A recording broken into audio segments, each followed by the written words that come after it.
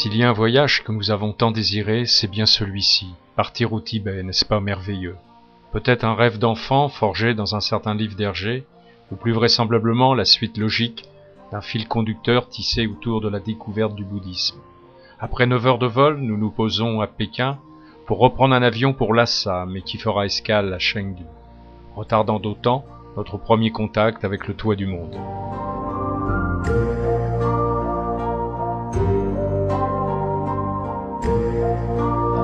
Nous avons le mieux possible préparé ce voyage, mais nous avons hâte de savoir comment notre organisme va supporter l'altitude durant ces 15 jours.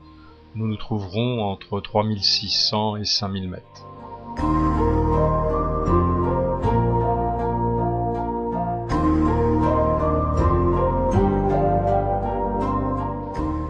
Quand nous regardons ces montagnes, nous ne pouvons pas nous empêcher de penser au périple effectué en 1924 par Alexandra Davinel et de son fils adoptif Yongden, parti de Lijiang ou Yunnan pour rejoindre Lhasa, huit mois plus tard, dans des conditions de survie extrêmes.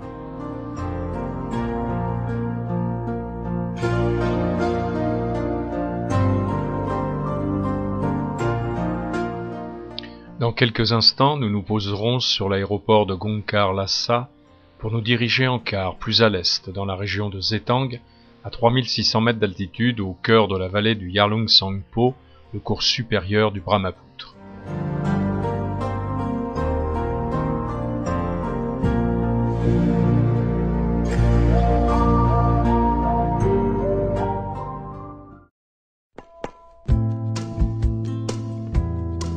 Notre première visite sera pour la forteresse de Yongbulakang, la demeure des premiers rois du Tibet. C'est ici que la légende situe la première introduction du bouddhisme dans le pays. Nous retrouvons les drapeaux de prière multicolores déjà vus au Sikkim et au Bhoutan. Le vent qui souffle caresse à son passage les formules sacrées qui y sont imprimées et les disperse dans l'espace, les transmettant ainsi aux dieux.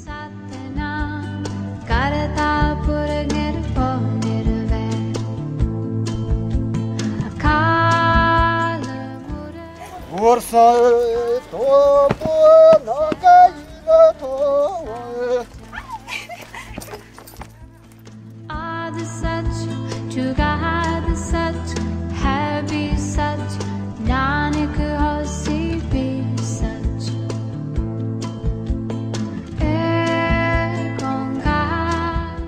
forteresse domine une belle vallée qui possède de bonnes conditions d'irrigation et une faible densité de population. C'est la région agricole la plus riche et la plus importante, connue sous le nom de Grand Jagrin du Tibet. Les principales cultures sont l'orge de montagne, le blé et les pommes de terre.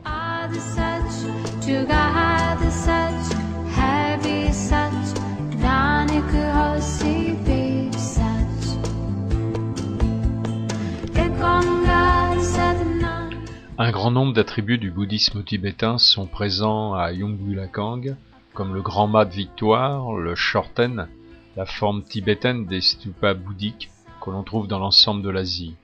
Les premiers shorten du Tibet étaient destinés à recevoir les reliques du Bouddha Sakyamuni.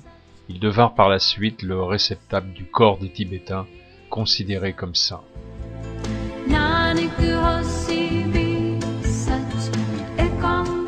Ici un four pour brûler des herbes dont la fumée sert à faire des offrandes aux divinités, ou encore des moulins à prière.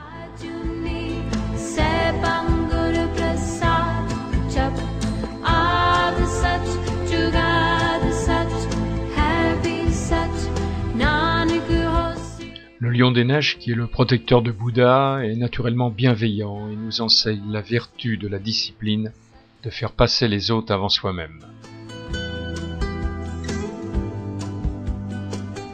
La vallée du Yarlung Sangpo demeura le cœur du Tibet jusqu'au 7e siècle, avant que le roi Songtsen Gampo ne transfère sa capitale à Lhasa.